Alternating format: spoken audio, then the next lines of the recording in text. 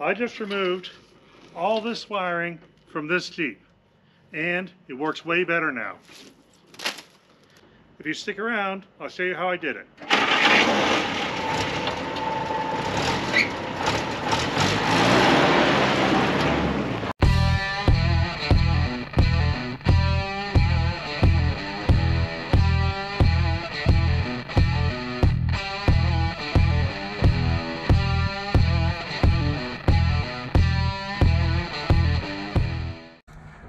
Been driving this Jeep for a while and it uh, starts and stops and charges and all that good stuff, but I haven't actually really done much wiring. Uh, most of the wiring looks like this. Luckily, these Jeeps are incredibly simple. Really to run it, you only need four wires. And um, this stuff is just for fancy things like lights and such. But seeing how we're getting fancy here, I'm gonna go ahead and hook up the lights and such. Here's all you need to actually run one of these Jeeps. Obviously you need a big positive and a big negative from the battery. This one goes to the starter switch. Now these Jeeps have an inline starter switch right on the uh, positive cable. So no solenoid wire needing at all, it's pure mechanical. The negative goes right to the block. Then I have a uh, ignition output and this is the alternator in. Now since I have a one wire alternator, that alternator in goes straight from the alternator right to the battery. That's it. The ignition wire goes straight from the ignition. I actually have it run into the interior to a switch and comes right back to the positive terminal of the coil. That wire there, you don't actually even need. That is for my voltmeter and it's not necessary to drive. So that's the only one you need. Then there is a wire going from the coil to the distributor. That's all I got. That's all that runs this entire vehicle right now.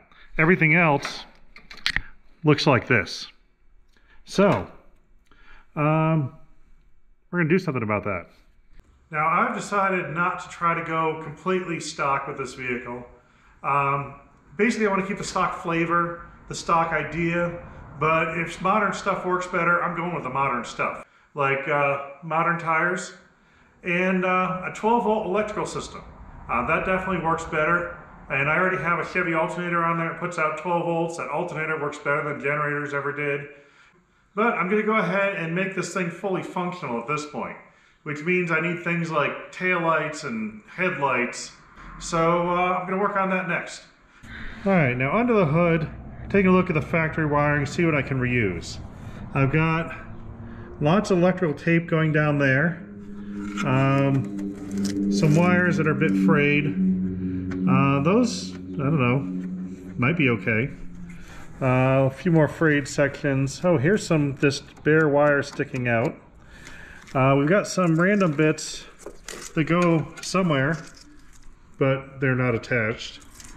Um, we've got connectors not connected, more electrical tape, um, bare wire sticking out, wire all the way through its insulation, and that insulation just flakes right off. So, um, yeah, this is, this is probably, I'm probably not going to be reusing this wiring. So apparently today we are wiring a complete Jeep end to end, replacing every single bit of wire, except the positive and negative from the battery and maybe the alternator wire, because I just put those in recently. Other than that, we're redoing it all. Some of these bolts um, just don't want to cooperate. It's like they've been in place for over 70 years. There, cooperation. We're getting somewhere. I'm really glad I pulled out all this wiring completely because uh, we had the stuff that I'd seen and then as I got under it there's melted wires. Here I have a wire that's not bad, electrical tape going to completely bare wire, going to more electrical tape, going to wire that looks okay. So either end looked okay, but the middle was terrible. So if I had used this, it might have looked decent, but uh, still been a problem. This whole section is just totally melted on me. Burned through, it had a nice covering on it, but maybe it laid on the exhaust? Something like that. That definitely would have been a problem. I'm not even sure what's going on here. It's all electrical taped up and melted and squished and completely rigid. So uh, that was bad. I was working on these headlights here um, it actually looks like the wire gets pretty decent. Uh, it was inside some kind of uh, loom sheath kind of thing. Um, it's a fabric enclosure, and that seemed to have protected it from being too bad. So I think what I'm going to do is I'm just going to trim these up until I get to good solid wire and use the pigtails of the connectors and the headlights and all that. That way I don't need to take the headlights out. But I do need to figure out which wires go to what. Uh, there's going to be a high and a low beam. There's basically two wires going to each headlight. One's high, one's low. And um, just going to put power to them and see what happens. I'm using my meter on the 10 amp setting to hook power to this because uh, it'll act like a jumper wire and then I'll know how much power it draws so I know how much I need to put into it. So, let's see, we've got a light that is a little under 3 amps. Uh, another beam, that one is uh, 4.5 amps. So that must be high beam, so I'm just going to point the wire up higher. Now the other side, I'm getting nothing. So we probably have a burned out filament. Uh, let's try the next one. Eight, we got eight amps. So that is probably the high beam on that side. And the wire's getting hot. All right. So uh, now I know. Now I pulled out my high and low beam switch to test it out and it was easier to remove that way. Now these are basically a real simple switch. You can see there it has a label, hopefully you can see it. It says battery. So this one here is your power in, goes to the battery. And then you're gonna have one out and then another out. One's gonna be high, one's gonna be low. So uh, when you push the switch, it switches which output you have. So let's test this thing here. So right now, I'm connected to this middle pole, not connected to this end one. Flip the switch, not connected to the middle, but connected to the end. So all I have to do is hook up my both beams from one to one of these, both beams from the other to the other one, and I got my high and low beam switch in the factory location. Well, I went ahead and replaced that headlight, and I'm glad I did. Because come to find out, that 8 amp reading I was getting was actually the low beam. Uh, the high beam would actually been higher. I went and scavenged the light from another Jeep, and uh, while I was doing it, I was thinking, these originally came with 6 volts. That light might have actually been an original 6 volt light that was in there, and uh, that's why I was drawing so much amperage. Because for the same amount of power, uh, you actually have to use twice as much amps so 6 volt system with 8 amps going to the headlights would be the same amount of power output as a 12 volt system with a 4 amps going to the headlight. So uh, I very well could have had a uh, 6 volt headlight in there and uh, just not known it. This one for sure is a 12 volt, so I'm good there. I checked the amperage, it's only drawing 4 amps on high beam. So uh, between the two, I'm less than 10 amps for uh, running both high beams, or should be. Gonna check that right now. Got my amp meter hooked up and both headlights are wired together to the high beam side. And, yep, 7.8 amps. And we've got two high beams. So, we're in good shape here. Now I know I need even less power to run the headlights. Still probably gonna go a 20 amp switch, put like a 15 amp fuse in it, which should be good. So, uh, gonna wire these things up. Now I only have one spool of heavy gauge wire that's good enough for these headlights. Uh, it's 12 gauge, that should be fine. Uh, but it's all one color. So I'm wiring three wires into the switch, all the same color wire. When you do that, put little bands of colored electrical tape around these ends, and then corresponding bands on the other ends. That way, uh, when you have all three in the same bundle, you can tell which is which at the end because it has a little stripe on it. I've been having good luck with these solder and seal connectors, so I'm going to use one of these. Slide this one in, and then just heat gun to solder it and seal it up. And you keep going until you see solder start flowing inside there. Seems like it's too hot, but so far the plastic is held up.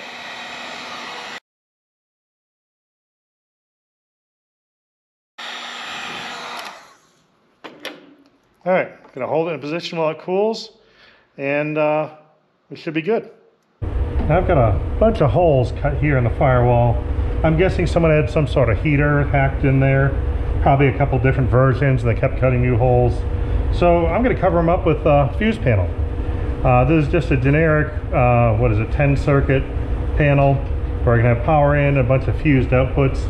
And I'm just to uh, screw that right to the firewall here, cover up a bunch of those holes. So two birds with one stone. Good old self-tapping screws will make this easy. There we are. All right, now I've got to get power to that fuse box. Uh, there is a wire coming off the battery on this um, positive terminal, which I could take power from that, but this one's not quite long enough anyway, so I'll probably replace that eventually. I'm not sure I'll get another one with one of these because they're usually more expensive.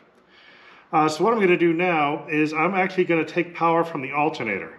So I made up a thick jumper wire, uh, and this is not going to be fused. So this wire um, it's thicker than I need. The insulation is really thick, which is why I like it for an unfused application. And I had a bunch lying around, so it was free. You have both these on the alternator terminal, so it's gonna take power from there and go straight to the fuse box. Now I have heard that this can cause radio interference by taking power from the alternator, not from the battery directly, but I don't have a radio, so I don't care. Whenever I dismantle a car, I sort all the parts I can use out of it, so I've got stacks of fuses. We're gonna go, let's say 15 amp for this one. I didn't have a switch for the lights in my spare switches bin, so I went to the store and actually bought a switch. It's a push-pull one and rated for 20 amps. So it'll act like the original style switch where you pull it out, turn on the lights, and plenty of current capability. So, uh, perfect. All right, let's try it out. Switch is on. There we go. Now before I finally install this headlight switch, I got one more wire to add to it. On the output side, when it turns on uh, and gives power, I'm going to add this string of uh, spade connectors because these gauges have lights with a spade connector on them. So I'm going to have wire that comes from the uh, switch and goes to every single connector on the back of each gauge. And that way, when I turn my headlights on, I should have interior lights, or at least I can see the gauges. I actually looked at where I was going to run it behind the dash and ran it outside. So I have where my switch is, I'm going to go over the choke cable, and then I kind of figured out where the spacing of each gauge was, give myself a little extra room to wiggle with. Let's see what we got. We got gauges, we got headlights, high beam, low beam, and that's it we have achieved lights.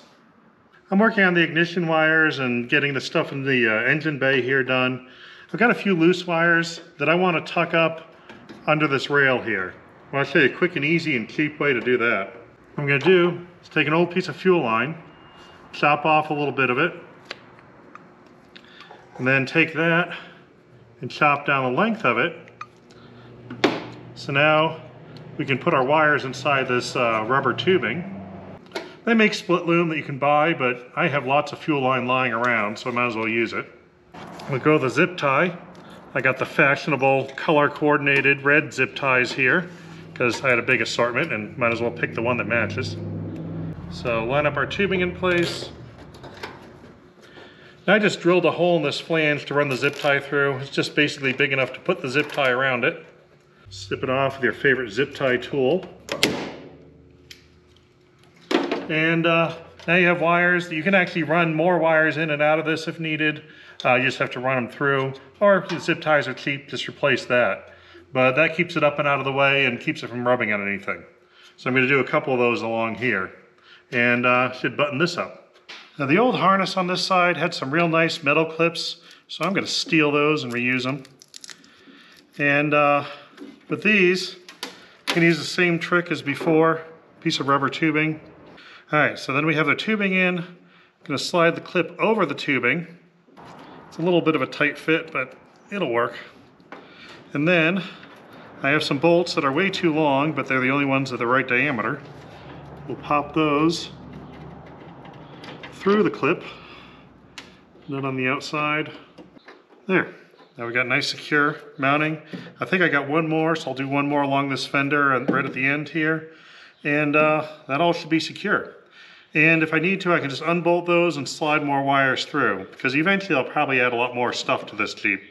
Right now, it's the basics. Last thing I gotta do is the taillights. Now, this is a simple two filament light. There's gonna be one low beam that's gonna be used for running lights and one high beam that's gonna be used for brake lights. That's just like a simple trailer light, uh, real basic. And I happen to have a box full of spare trailer wiring. So I'm gonna go with the same color code the trailers use. We've got brown is running lights, green is the uh, high beam on the right side, yellow is the high beam on the left side, and white is ground. Uh, I've got chassis ground here, so I don't need the white. So I have a couple rolls. This one's brown and green, this one's brown and yellow, and uh, I'm just gonna attach them to the appropriate tail light and run it forward. Now for the taillights, I already have switched power from the headlight switch going to the high and low beam switch. That's right near the frame. So all I did was attach the um, low beam on the taillights to the input on that switch. So as soon as the wire goes on for the headlights, the taillights go on. And I didn't have to run the wiring up to the dash. I just ran it right here to the floor. Now the brake light wiring is pretty easy. What we have here is a pressure switch right on the end of the master cylinder. You basically run power to it and then your lights go out. So basically as soon as you have pressure on the brakes, the power connects to the lights and they turn on. These lights should be wired, um, but I can't see them when I hit the brake pedal. So I'm gonna go hit the brake pedal and keep an eye out and see if these go on.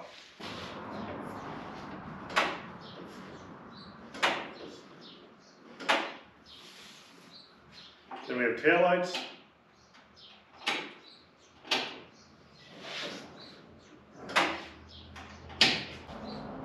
Did it work?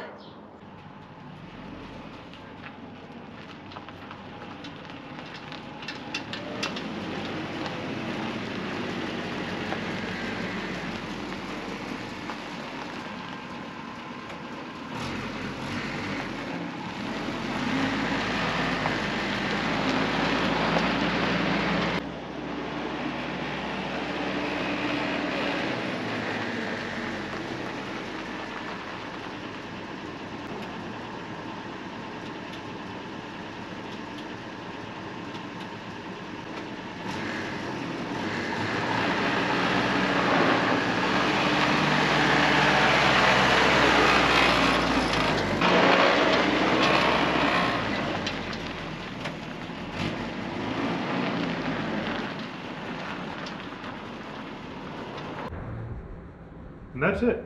That's all I actually need to do. Um, at this point, uh, this vehicle is road legal and fully functional. I got brake lights so no one rear ends me. I've got headlights so I can see where I'm going. I can even see my gauges at night. Now, you may have noticed I didn't do turn signals, and that is because this vehicle didn't have turn signals originally. This is what a CJ2A originally looked like. One tail light, and that's it. Nothing on the other side, no signal lights. And I've actually looked this up before. Uh, basically, if your vehicle didn't come with it, you don't have to have them. So I'm totally road legal without turn signals because it didn't have them originally. Now I eventually will add signal lights. I do have a clamp on turn signal switch that goes on the column uh, somewhere. Not sure where exactly. When I find it, I'll install it. Uh, but somewhere in my piles of stuff, I know I have one. So there will be still more upgrades, but this is the basics. We have complete new wiring, except for the couple wires that went to the headlights that look good. Everything is brand new and uh, totally functional. So uh, I'm happy with the progress on this. So I'm calling this a success and I'll move on to something else. And uh, keep having fun. Hope you're having fun too. We'll see you next time.